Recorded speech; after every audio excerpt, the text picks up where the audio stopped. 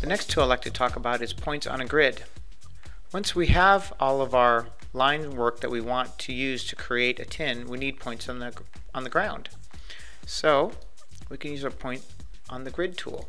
It's located here, points on the grid. Again, this is ported over from Topo 2. You start out with the point cloud or the reference plane in the same spot here, and you can set the origin, align it to this curve up here. And then like that. So you can align it any way you'd like to. Also, you can just rotate it here, rotate counterclockwise or clockwise, and change your grid size.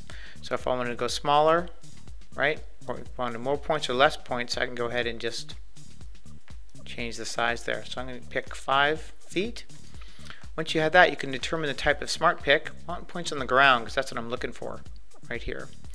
And then you can say your starting number, right? You can say 100 is your starting number and feature code is G for ground.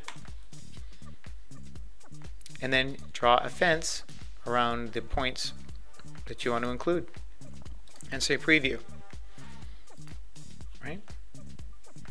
Okay and I'll show you the preview locations. So if the point numbers are wrong or if you want more or less points you can simply run it again.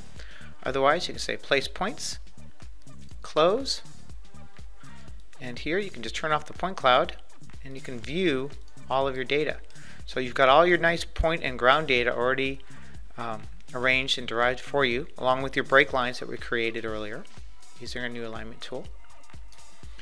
And you can simply say select all, tools, mesh create tin and then it creates the tin. And let me go ahead and show you the wireframe version of this. I do want to point out that we do a nice job now in the curbs right of making sure all the triangles are regular and the grid surface is clean. This is very very nice. Also all the editing functions are improved and work quite well when you're trying to change the characteristics of the tin. So this is the new points on the grid from Leica Geosystems and Cyclone version 9.0.